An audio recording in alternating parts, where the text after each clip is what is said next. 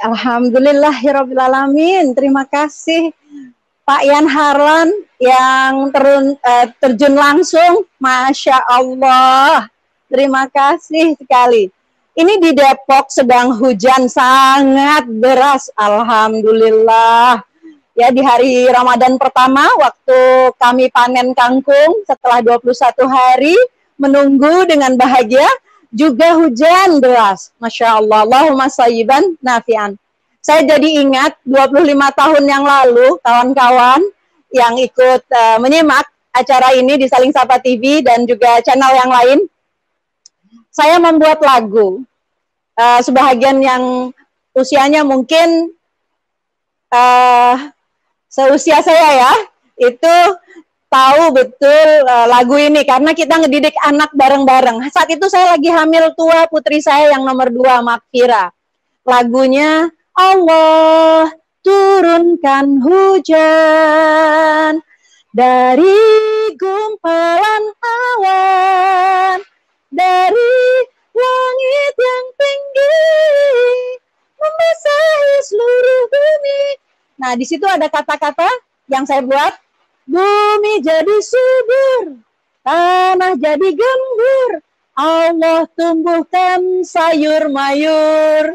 Jadi 25 tahun yang lalu saya sudah sangat meminati agar anak-anak kita itu mau dan suka menanam dan menghubungkannya langsung dengan sang pencipta sehingga proses tauhid itu uh, kurang lebih bisa tertanam dengan cara uh, mendekatkan anak-anak dengan tanam menanam kira-kira gitu tapi kalau mundur lagi ke belakang budaya uh, dengan teman-teman saya ini beruntung karena saya punya ibu yang saya panggil Mama Ida, tangannya dingin. Ya Allah, rumah masa muda saya itu adalah rumah yang penuh dengan bunga-bungaan sampai setiap saat. Jadi, uh, oh oke. Okay sehingga kata putri saya yang biologi ini ya, yang menjadi inspirator besar nih di belakang panggung di belakang kamera ada Raudia Odi. Dia yang lulusan biologi kumlot. Jadi uh, saya punya ibu yang betul-betul masya Allah. Jadi saya yang saya hafal karena ini memang saya orang pengasuhan ya Pak Yan dan teman-teman saya ingat betul ekspresi ibu saya kalau ada kuncup bunga. Jadi dia akan melompat-lompat gembira dan tidak peduli sama kita semuanya. Dia akan lompat-lompat dan mengatakan, sudah berbunga, sudah berbunga gitu. Dan di tangannya selalu ada gunting, selalu ada sekop, dan di pojok rumah selalu ada uh, apa namanya pupuk ya. Dan beliau mengerjakan sendiri. Nah, saya tidak secanggih itu karena saya uh, meminati dunia lain yaitu dunia sastra, bahasa, kebudayaan.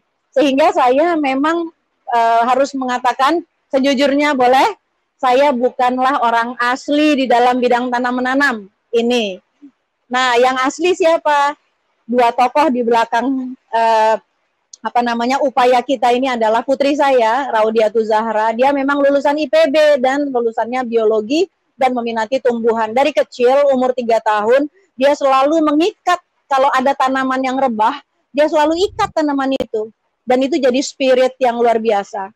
Assalamualaikum